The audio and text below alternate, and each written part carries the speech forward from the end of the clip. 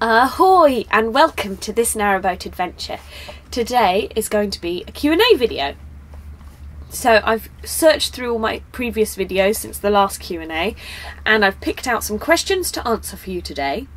Gary Arnold asks, what jobs do you do while living abroad? Um, well, I have three jobs. I do corporate acting, uh, freelance.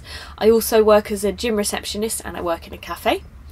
Um, I also do writing and acting and things like that. But you have all sorts of different people living and working on the canals.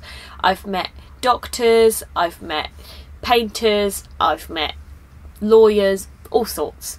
So, really, whatever your job is, you can probably do it if you live on a boat, so long as you don't work from home using the internet and power all day long. and even then, if you had a mooring, you probably could. Scott Clegg asks, can you get takeaways delivered?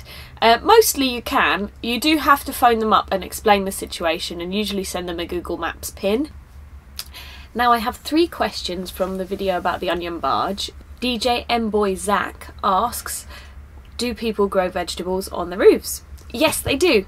Um, I have some videos about um, planting and, and growing stuff on the roof of our boat.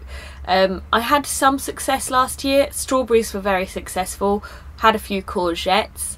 Uh, had some tomatoes. Hoping to be more successful with those this year.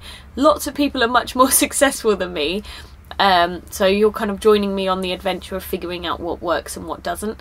Um, so yes, people do grow vegetables on their roof.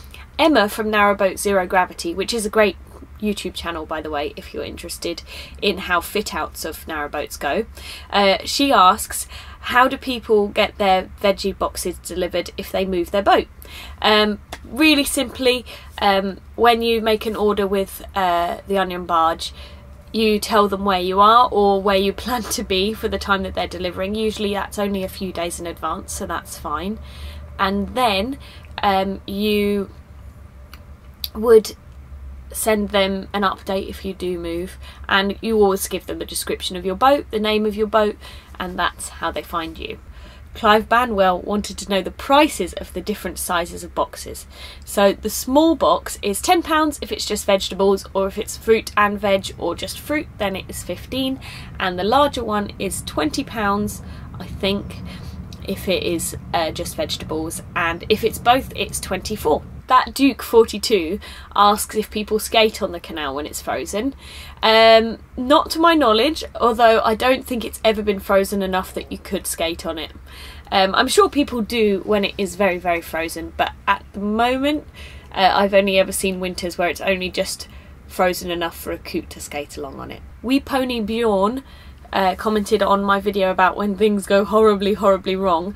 Uh, she asked, Why did I think that the shower was not working. Um, basically, our shower has a circular knob, and we'd only turned it half the way round, not the entire way round, which made a huge difference once we realised that's what we needed to do. So, thanks, we pony Bjorn, for that question. And of course, last but not least, my very last video of reflections. Everybody wanted to know why I had such dirty hands. Um, so as a boater, I generally have dirty hands, but that particular day I just finished making a fire, and so I had coal dust all over my hands, and I didn't realise until I'd already edited the video. Sorry, not sorry. Thank you so much for watching. Please leave any other questions down in the comments below, and if you'd like to join us again on this narrowboat adventure, please subscribe. Um, thanks for watching. I've just started a Patreon, so if you're interested in supporting this channel, you can pop over and donate there. And thank you for supporting it by watching it with your eyes and subscribing, hopefully. Thank you very much. Bye!